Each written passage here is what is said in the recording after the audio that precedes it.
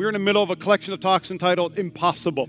All things are possible with God, with Christ. And uh, I thought we're going to transition to a uh, a family series today, but man, I felt like we have one more in us today, and just the direction of the Holy Spirit. And so, turn your Bibles. If you got your Bibles out with, real, with you real quick, turn to Matthew chapter 15. Matthew chapter 15. You got the YouVersion notes. How many got that going on? We also got free Bibles for you. We would love to gift you a Bible as well. Every single week, almost every single week, someone has come up to us and saying, "This is my first Bible, man. I, am excited to have my very first Bible."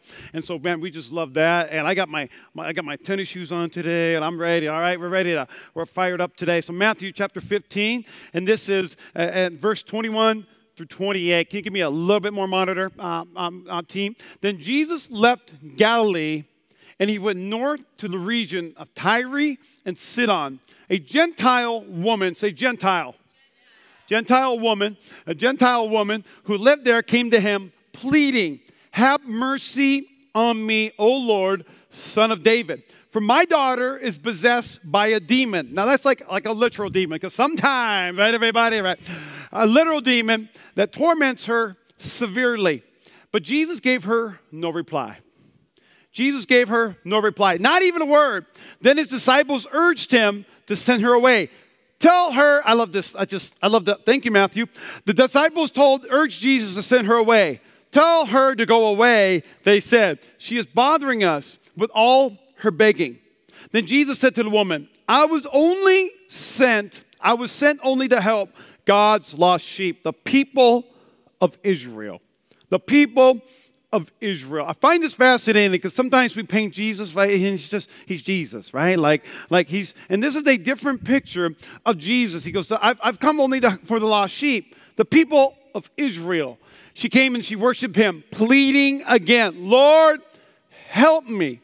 Then Jesus responded, It isn't right to take food from the children and throw it to the dogs. Take food from the children to throw it to the dogs.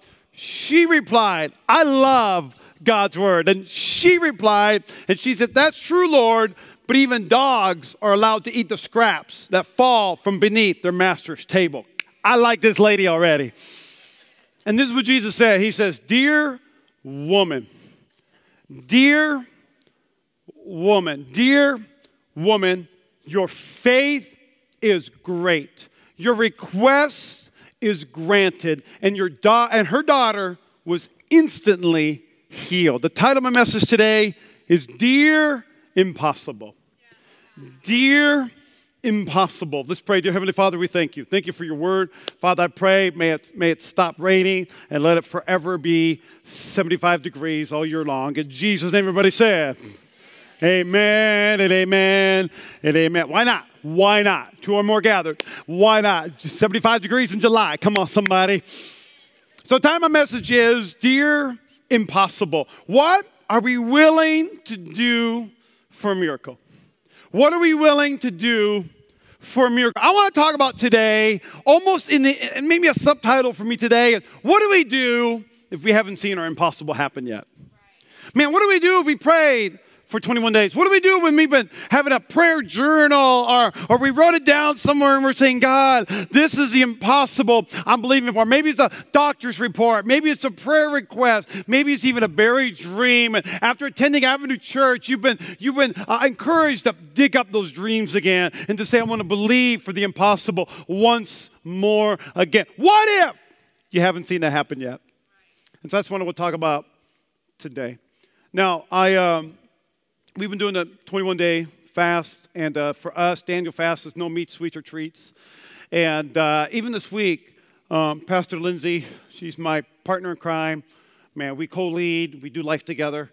And I said, I'm going to go to the grocery store. And uh, when you get off of a Daniel fast, you try not to go back to, to the old stuff. You know, you try to wean, you know, if you already did it, trying to wean off of it. And Pastor Lindsay said, when you go to a store, can you give me some M&Ms? I said, I said, girl, you know it.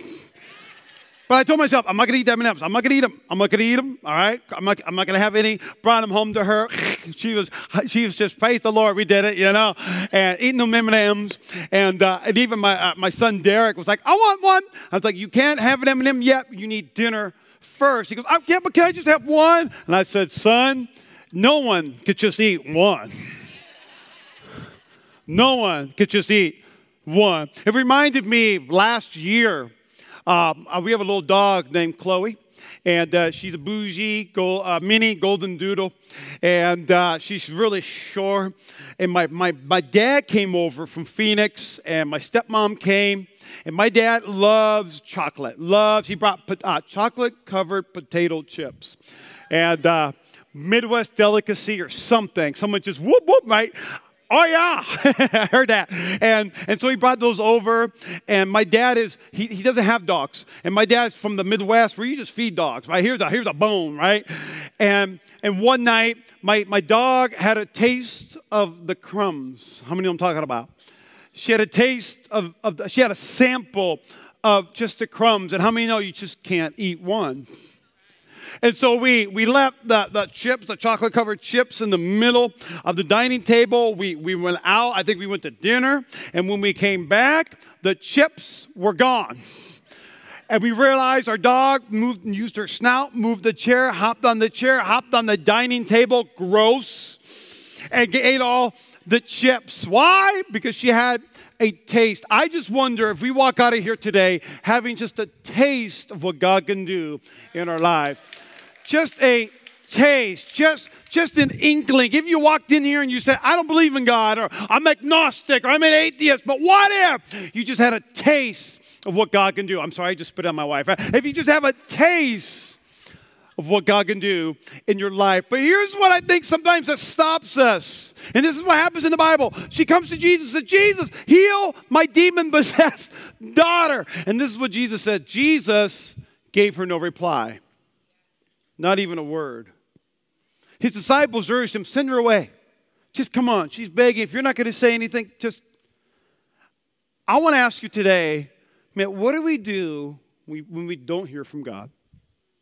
What do we do when there's silence in our prayers? Man, what do we do when we just don't feel or hear the Lord? I want to encourage you today. If that's been your 21 days, and I know some people are continuing on, but I want to encourage you there's always a test in the silence. How many of you have ever taken a test in, in high school or uh, maybe a, a, nurse test or a driver's test, you know, whatever? Anytime you take a test. Now, I've tried this in high school. So if you're in high school, all right, Jameer, if you're in high school and you go, excuse me, teacher, during the test, you go, what's the answer to number five?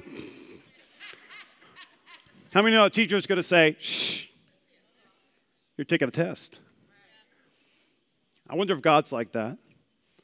I wonder if God is saying, ah, you're in the middle of a test. Same way God tested Abraham, it could be the same way He's testing us. But I want you to understand this story. There's two main characters there's the disciples, God's men, and then there's a Gentile woman. But I want you to understand this. If we read this portion of Scripture, the silence was to test the disciples not the Gentile woman. It was to test them, not to test the one who already had the faith. It's so many times I wonder how many of us are believing for the impossible, but God is going, hold up. I, I know you're praying for a man, but he's got to pass the test first before I give him to you. That ain't good right there on Sunday morning? Come on. I, I, I know you want that job, but I got a few tests, a few people that need to go through a few tests.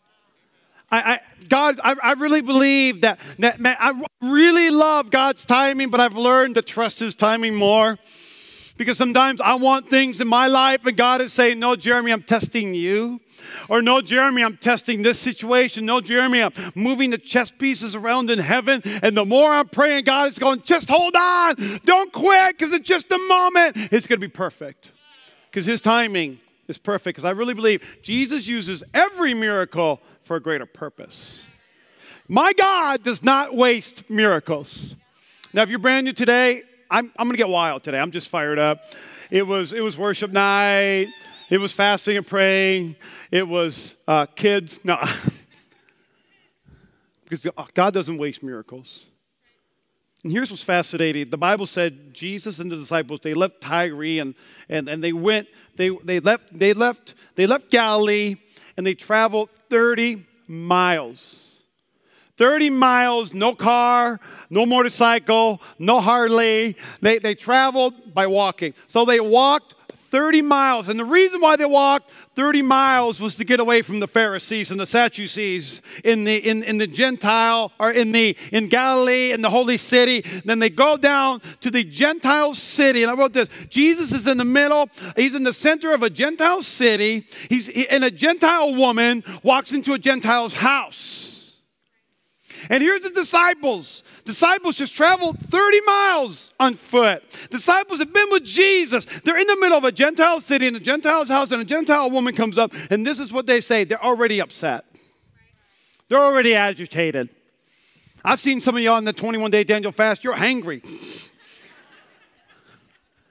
and this is what they said Tell her to go away. She's bothering us with all her begging. Friends, if you haven't seen the impossible happen yet, I believe the word of the Lord for you today is I want you to get bothered. I want you to get bothered. Think about this. They're in a Gentile city, in a Gentile house, and a Gentile woman comes in. Now, back in the Bible times, Gentile was the opposite of God's people. Believe different than me, think differently than me. And sometimes we get bothered when we live in Sin City around a culture that not Bible believing, in a society that doesn't believe what we believe. And instead of witnessing or loving, we get bothered. We get upset. But I'm here to tell you what bothers you is often a sign of what's inside of you. Of what's inside of you. It's almost like I wonder if Jesus smirked a little bit when he saw her walk into the house. And he said, Perfect. Perfect. Because what bothers you is, this, is a sign of what's inside of you. And friends, I've never said this before, but what's inside of you that is bothering you is either a solution to the problem or an issue inside of you. So, things that bother you, either that you're the solution or God needs to do a, a work in our hearts. Those people, God saying, man, you need some love in your heart. Man, you need the fruit of the Spirit in your heart. Those, I can't believe. Some of y'all need to turn off the news because that's all they're going to feed you. And you need to go to the streets. I mean, you just need to love people. Man, maybe what bothers you, there's things that bother me. There's things that bother me, but I mean, there's things that bother me. A lot of things that bother me. People's driving bothers me. But maybe that's just a test of my Christianity. Instead of telling them they're number one, I just go, Praise the Lord. I'm praying for you. Praying for you. I'm praying for you.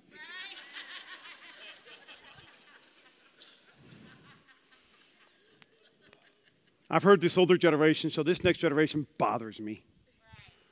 Oh my gosh, they're lazy. Oh my gosh, they're just there. They know nothing. This next generation, they're, go, they're going to hell in a handbasket. Well, maybe what bothers you is because God put knowledge and wisdom inside of you to mentor this next generation. Maybe this next generation is going, Who will mentor me? Maybe this next generation is saying, Who will invest into me? And the only thing that's accessible is TikTok, Instagram. Sorry, they're not on Facebook no more. Yeah, right. But maybe they're looking for you to tap them on the shoulder and say, Hey, can I invest in you? Can I talk to you? Can I share with you? Man, what bothers you? Is normally a solution that God has placed on the inside of you. I know people that walk into a church go, This bothers me. That's because you you know the solution. You know the solution. So I want to ask you this morning what is bothering you is either a solution or it's an issue. Man, maybe you need to repent or maybe you need to move. Not move from this church or move from this city, but maybe you need to move. Maybe you need to tap someone on the shoulder. Maybe you need to say, I'll get involved in this church. Maybe you see, I, I need to go to a small group. Now, hear me out. I told Pastor Lindsay, someday we're going to retire. Someday we're going to pass this church along because this church is going to go on forever in Jesus' name. And someday we're going to live somewhere exotic like Inspirada, you know, like, or Hawaii, you know, or whatever. Someday We're going to be old in age. What are we going to do? Are we going to isolate in our house? No. We're going to find a life giving church. And we're going to serve. And we're going to go to small groups. Why? So we can build friendships and relationships. That's why. Okay. And then he said to the disciples, and I love this. I wonder if any of us, this is Matthew chapter 9, I wonder of us if any of us are bothered enough to move. Are we bothered enough to get involved? Are we bothered enough instead of saying, get them out of here, I'm, I'm done, for us to say, sign me up? Sign me up. I'll, I'll do anything, anywhere, anyhow, anytime. Because Jesus says the harvest is plentiful. And can I give you a different translation? The harvest is plentiful, but the workers are few. So pray to the Lord who's in charge of the harvest and ask Him to send more workers into His fields. The harvest is ready. There's, there's, there's a whole city called Sin City. There's a whole there's a whole country called United States of America. But I wonder if, if the harvest is great, but there's not enough people that are bothered enough to move, to make a difference, to change the harvest. You know, this last Sunday, you know what I saw in our worship night? I saw people that were bothered enough to press into the presence of the Lord, bothered enough to say, I don't care if I'm on my knees. I don't care if I got snot coming out of my nose. I don't care if anyone thinks anything. I'm bothered enough to see my miracle. I'm bothered enough. That's good. I know. Man, we got plenty of people that were bothered enough to jump on a camera today for online audience. Enough people bothered enough to work the screens, to sing up on the stage. There's enough, hear me, there's enough people bothered enough to not, that we don't have childcare, but we have church for kids, that they're watching their kiddos right now. Man, they were bothered enough one day to sign up and say, I'll jump in that room so that moms and dads can come in here and experience the presence of God. Man, I'm bothered enough to come here on a Wednesday night and serve our young, our, uh, our middle schoolers and high schoolers. They were bothered enough. Can I tell you this? Uh, we are a portable church. We everything you see here, we set it up and we tear it down. Everything except for the stage, maybe the screen, some lights, but everything else, we set it up and we tear it down. Can I just applaud our production team that we don't have that many issues? Come on. But you know, it's not very fun to set up and tear down a church. But can I just tell you, there's a group, and we call them the Red Team. They're part of our setup team. But there's a group called the Red Team, and it's called Retired and Extremely Dangerous. And, and, and we have this team, they, they're literally setting up our entire church.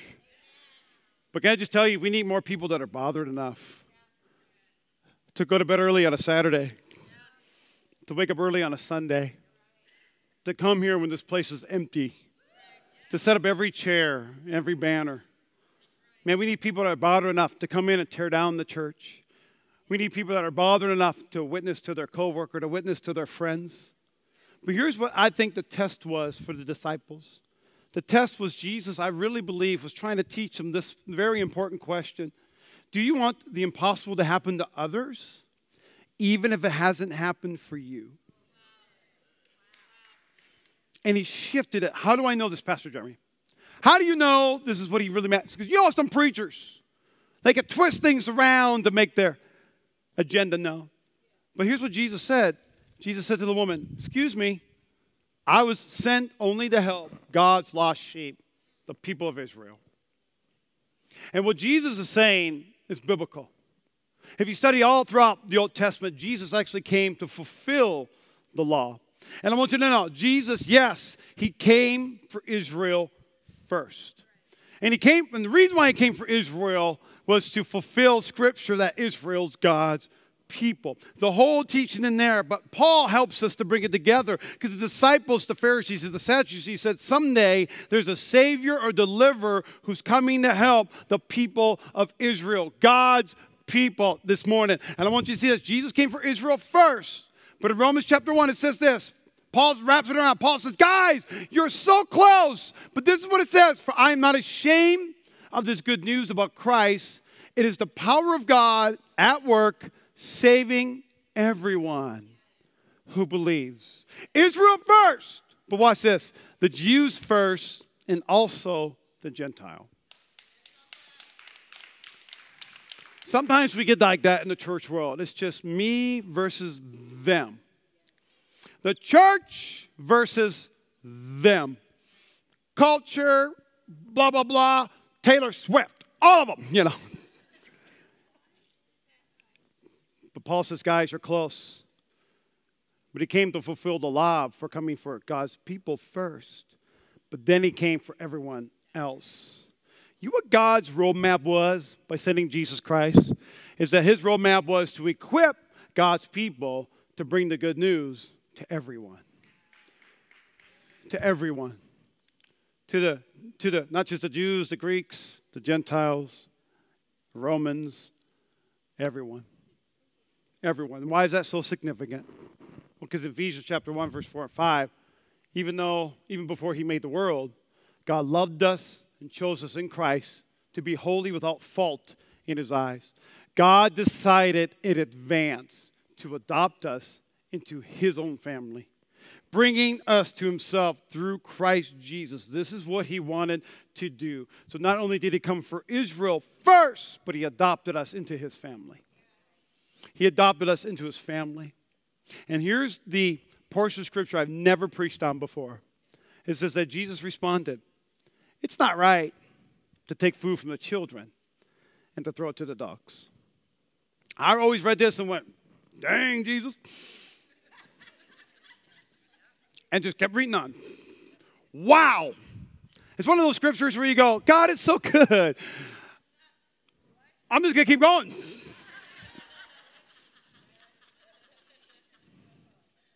Mark tells the very same story. We're in Matthew, but Mark was also there.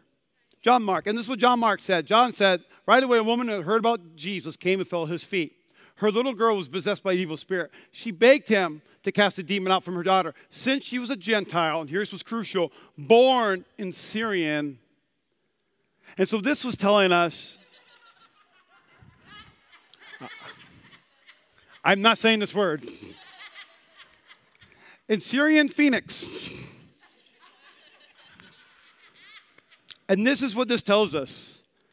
This tells us that she was a Gentile woman but she spoke Greek. And what's fascinating is God's people, the Pharisees and the Sadducees, were not, they're not part of God's people, but they thought they were God's people. They were actually so ingrained in the term Israel only or Israel first that their religion became a political party. And so this young lady came in, she was Greek, she had a different affiliation. But not only was she wasn't born in the right family, she also didn't speak their language. She didn't talk like them, she didn't look like them, she wasn't them. And so when Jesus said, you, you want, we're not going to take food from the children and give it to the dogs. Reason why the disciples went, ooh, and all of us here go, ooh, because the context was different. Theologians believe Jesus actually spoke to her in Greek. There's a theological term that God's not going to speak to you the way He speaks to me, He's going to speak to you the way you understand. Right? So if, you, if you're sitting in, in your prayer time, God's not going to go, Keegan, thou art, th-. you're like, what? What'd you say? Syrian Phoenix? Okay, I tied up back in. I tried. I tried. God's to speak to us to our own understanding. You know, there's um, my youth pastor was from Canada, and and he brought an American friend to go back to his home church at a big conference there, and his, and his friend from America was in Canada, started preaching, and he was preaching about the story of trying to catch this sheep. And he was tying in sheep to God's people, and, and in the story he kept saying that little bugger, and all the kids in the room went oh, and he was like oh, yeah, bugger. And then and the little bugger got away. And finally I caught that bugger. And the kids were going like, oh, oh, like it hurt them.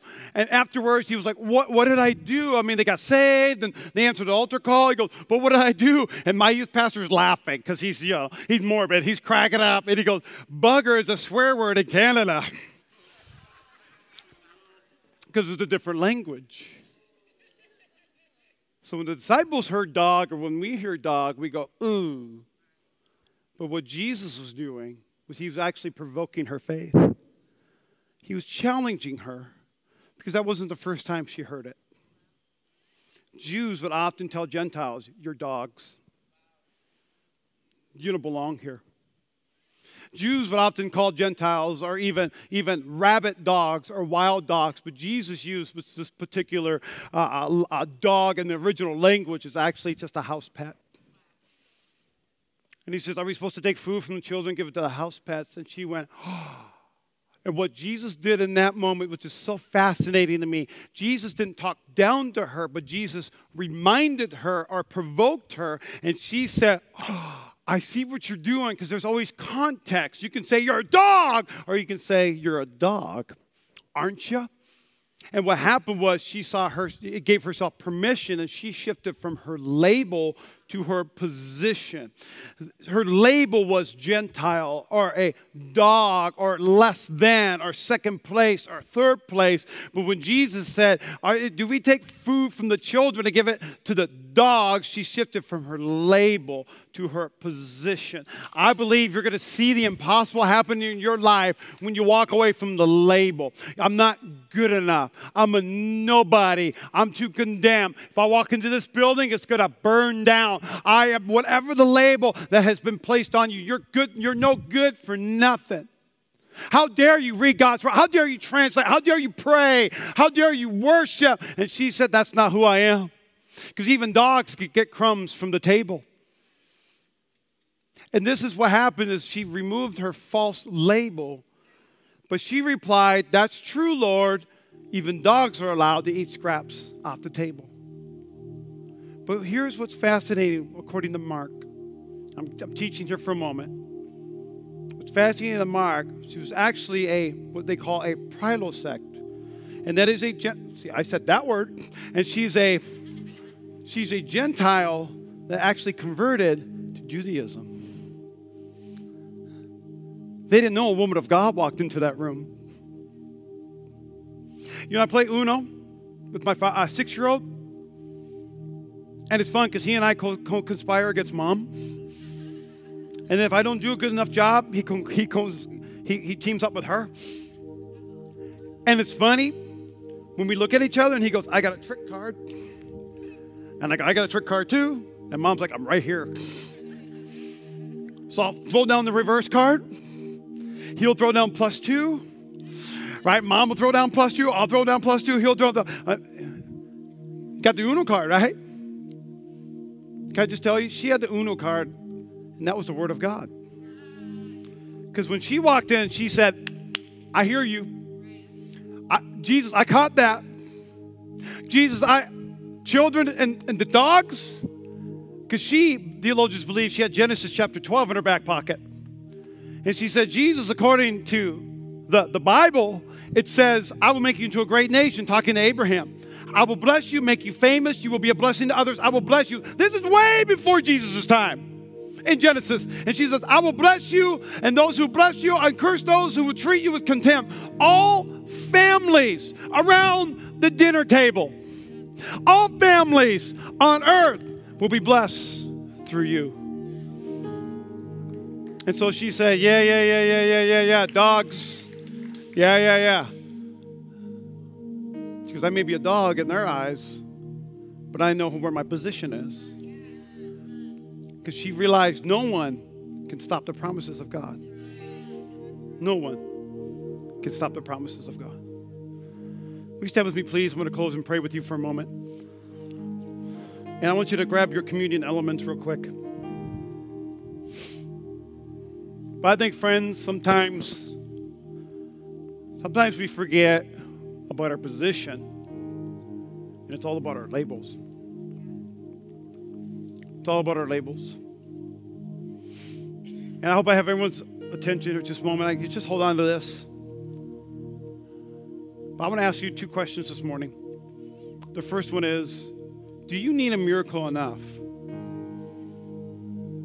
Does your need for a miracle bother you enough to get uncomfortable?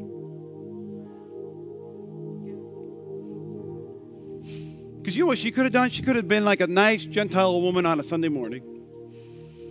Come in and say, Jesus, help me. And people are going, shh, we're in church. Quiet. Why you stand up? Why you come in front? Why you going to prayer what's your deal? But it's said three different times Jesus, help me, Jesus, help me. Even dogs get crumbs. Because you know what her crumb was? For her daughter to be healed. That was it. I feel the same way. Just give me a crumb. I remember one night, I was 17 years old, came from another church revival. I was a revival seeker looking for Jesus to heal my ears. I'm deaf in this year, 60% deaf in this year. Are we hearing aids? That's why big words are hurtful. And I remember I didn't get healed. My faith wasn't great enough. I remember I dropped off a friend at his house. And as I was driving home, I got mad. I remember I hit the steering wheel as hard as I could, pulled over to the side of the road, and just rage came out of my heart. Just, just, I yelled at him in my truck. Somebody was walking that night, they probably thought a psychopath was in his truck. And in that moment, God spoke to me. It was so, I just, I knew that I knew that I knew it was my, it was a burning bush experience for me. And the Lord said, I will heal you when I'm most glorified. And just a word, just a crumb, just, I don't know why I did that, but just a crumb. Just a crumb was all I've needed for the past 20 years. Just a crumb. Just a crumb. But are you, are you, are you bothered enough to get uncomfortable? That's my first question. My second question is maybe you're here and you think, Pastor, I'm good. I'm good. Money in the bank, kids are healthy. Love my job, love my life. I'm good. About to go home, enjoy the rest of my day. I want to ask you does, does the harvest bother you enough to do something about it? Does the harvest bother you enough to come early, to be first, to leave last? Does the harvest bother you enough to pray for other people's miracles? To say, I'm believing for you. I'm praying for you. I'm calling down heaven for you. Does the harvest bother you enough? And so I'm just going to really quick, I'm not going to make this long. But if you're number one, if you're bothered enough to get uncomfortable, will you take your communion? Will you just step on the aisle? Will you just come forward? I just want to pray with you. It's a step of faith. Just like the woman, I just want a crumb. I just, I need a miracle today. And that's all we're going to do. That's all we're going to do this morning. I want you to come forward, come forward, come a little closer too. That's my first question today. And man, we're going to call down heaven and earth for you. We're also going to do Holy Communion together in just a moment. That's my first question. Are you bothered enough to get uncomfortable? Are you bothered enough to say, yeah, and I love and I love this this action right here, faith without works is dead. This is this is a step of faith. God, I don't know, I don't know what's gonna happen, but I'm bothered enough to believe. But the second question is Does the harvest bother you enough? Maybe there's something inside of you that God wants to pull more empathy and compassion for others. Say, I'm good. Yeah, but we're not. I'm not. So I want to ask you will you step forward and when you come behind somebody, when you lay a hand on their shoulder? And I want you to pray for them and believe for them. If your first time today, we've never done this before. But I want you to come forward. I want you to lay a hand on them. And I want to remove the label that you've placed on yourself, the label that the enemy has placed on you. To say, How dare you come up and lay hands on somebody? How dare you come to church today? How dare you believe? What we're going to do is I'm going to do Holy Communion. We're going to take it together as they're praying for you behind you. And here's what I love about Holy Communion Holy Communion represents what Jesus did on the cross. What he did on the cross was by his stripes we are healed. By his stripes we are redeemed. Man, his iniquity, our iniquity was upon him. By the cross we are saved, but by the cross we're healed. But friends, God's not going to give us crumbs. He's going to give us the cross. And the cross is completion. So with every head bowed, eye closed, go ahead and get rid of the first top of that label on your communion cup. And Jesus, we thank you for your word. Father, I thank you for what you did on that cross. As I take that little wafer, I'm going to break it, which represents you were broken on the cross for me. If you're at home, I want you to find some communion elements, break something.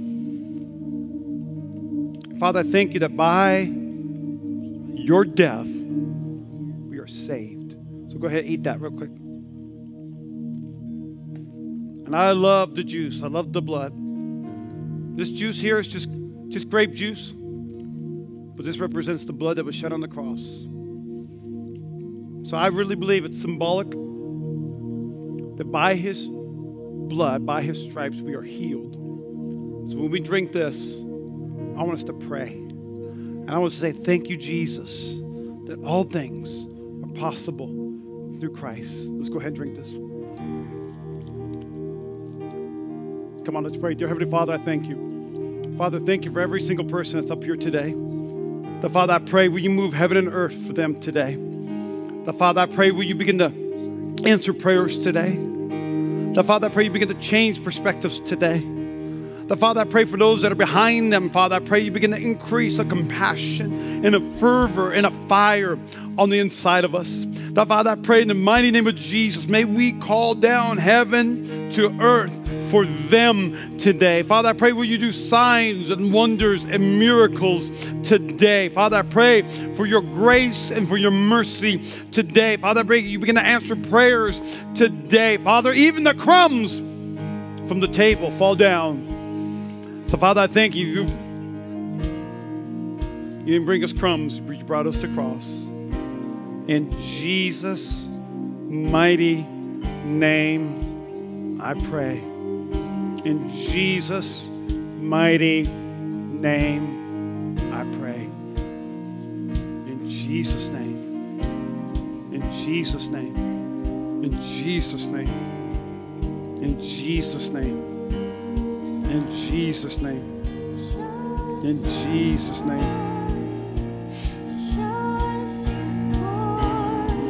In Jesus' name.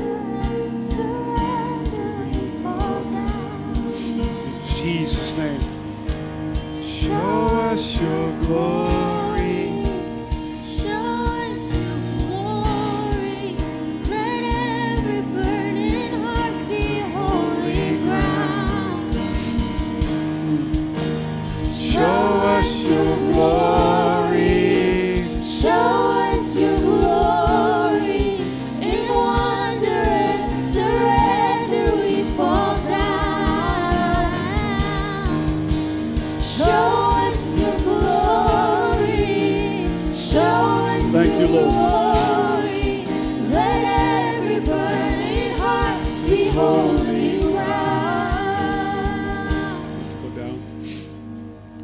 Me a favor, with every head out of eye closed, I want you to pray this prayer with me. And this is the prayer we pray every single Sunday. But I believe this can be your prayer today. This is the prayer that you need this prayer.